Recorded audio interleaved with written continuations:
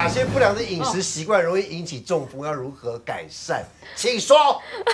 我先讲不要吃的好了。你看，好。其实我是生活化整理出这几点给大家一个建议啦，哈，是，因为刚刚提到包包括吃太咸太油啦这些，那到底什么习惯呢？我发现啊，我的病人里面啊，有三高病人啊，只要问那个饮食习惯啊，家里面一定会有个零食柜，是，就是我家的零食柜有两百公分高哎，里面塞满满的，对，就是家里一定会有个预备的，好像感觉是要那个逃难用的这种，就是里面塞了很多饼干、糖果、零食，甚至很丰富的。团购的这些东西，然后另外还有就是，有些现在其实因为我们台湾家太多饮料店了，你知道吗？就是尤其是中南部啊，我们发现他们的这个呃高血压跟三酸甘油脂的比例增加，可能是因为他们喜欢喝饮料、手摇杯加一些果糖。那果糖里面其实很容易导导致三酸甘油脂过高。可是现在流行的蜂蜜跟跟加了一些什么呃呃甘蔗汁啊这些，事实上它也是糖。它也是糖哦，所以那个一加起来，其实都半碗饭以上的含糖量。所以如果你真的要喝饮料的话，其实无糖的真的会对你来讲会比较好一点。然后另外红肉，其实我们在讲红肉的部分呢，就是一般不是加工品的红肉，像我们一般吃牛排、吃猪排、吃羊肉卤的羊肉这一种的，那事实上它的饱和脂肪酸很高，都会像刚刚其实提陈医师提到会塞住血管，过量的话，那到底多少？一就是每天大概不要超过七十克，七十克的话，大概以女生的手掌大就是这样子的量而已。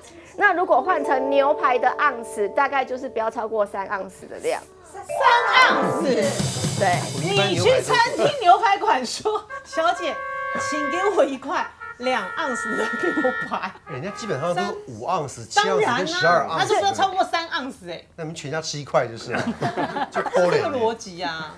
好，然后另外呢，就是要。呃，就是选错食物的素食者，我特别这边特别提到，最近这几年有没有发现叫柴的狼？哎，他来量量那个血压也高，然后另外他们抽血数据里面胆固醇也高，很怪。很冤枉哎，很多阿公阿妈都都夹菜，然后还会高。那我们发现很多吃菜的人，在他的餐点里面，正餐三正餐里面，他没有吃足够的量，就有肚子饿的情况之下。导致他点心都喜欢夹一些格啊饼啊，有没有？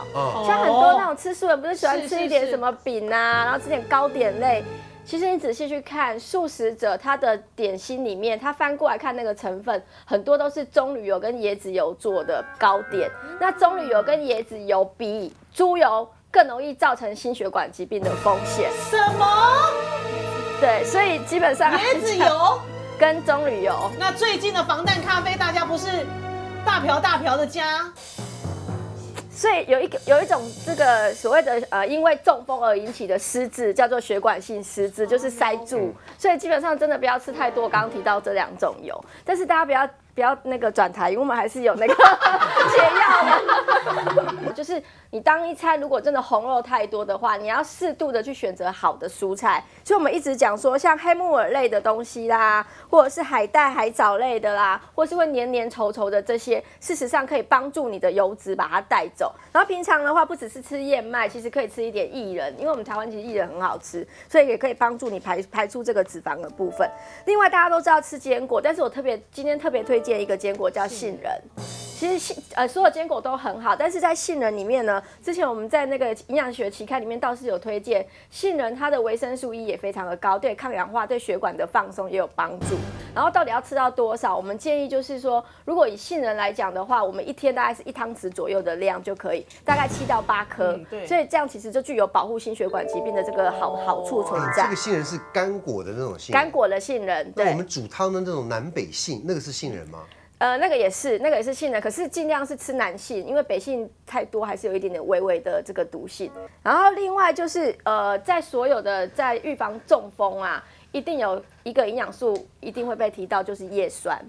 那这个叶酸到底是有什么食材呢？我今天给大家的资料是我们台湾水果的排行榜，我们台湾的那个学者有把我们台湾的水果。把它拿来做实验，而不是而不是去看国外的，所以很准。我们台湾的水果里面啊，前几名包括木瓜、圣女番茄、然后第三名是柳丁，第四名是芭乐、凤梨，这几个水果是属于叶酸含量很高的。所以如果像有一些中风病人，他在愈后啊，他问我们说，哎，我们多吃蔬果，那水果要选择什么？通常这五个是首选，因为叶酸含量高，其实可以帮助预防再一次的中风。然后另外呢，呃，在茶饮的部分呢，我们知道喝茶很好嘛，以前一直在讲绿茶，绿茶里面有儿茶素，然后另外红茶里面也很好，但是推荐一个就是说，呃，你们会不会喝到山楂茶？